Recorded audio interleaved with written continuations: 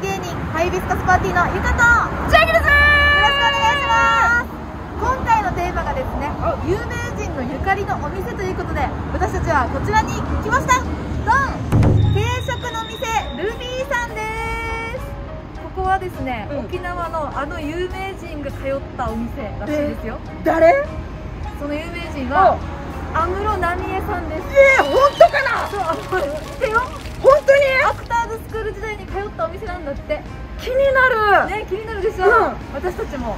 同はい。じものを食べに行ってみましょう。行こう行こう。はい。安室ちゃんになれるよこれは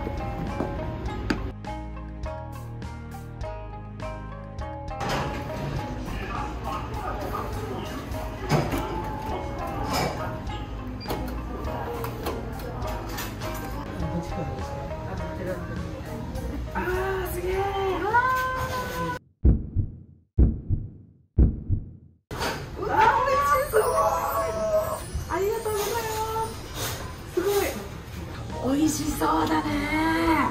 やばくない？やばい、これ早速いただきます。あ。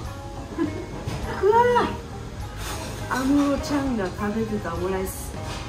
もう美味しいとこから行っちゃおう。真ん中。ういいね。わ。ケチャップたっぷりね。うわ。卵が分厚い。本当だ。本当だ。あ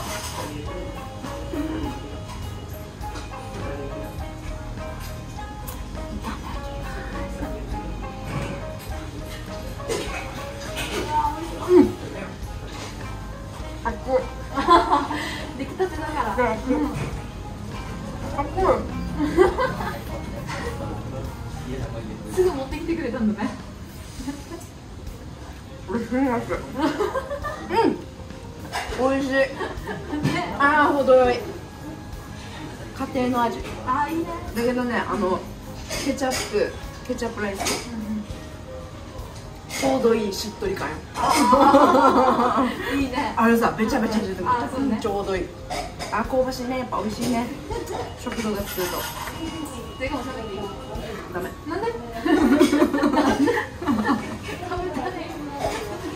食べれるよ。うん。うまっじゃあ私もいただきます。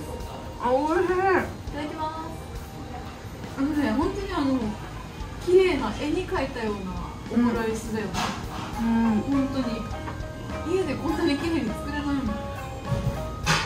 かも美味しいところからいただきますよしいただきます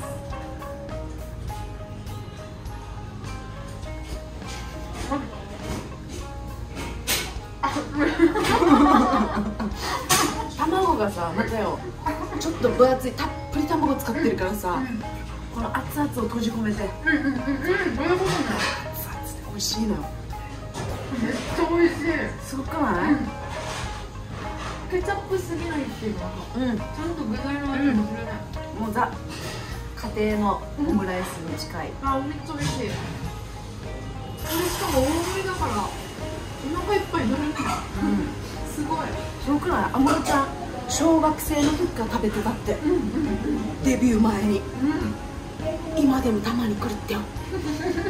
ブログに載ってるって。ブログやってるの？ブログやってる普通に食べそうだし食っちゃえ食っちゃえ。えマジでうまい食べたいでしょ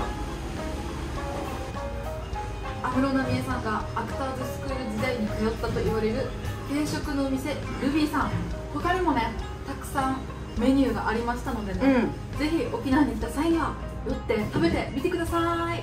来たねバイバイ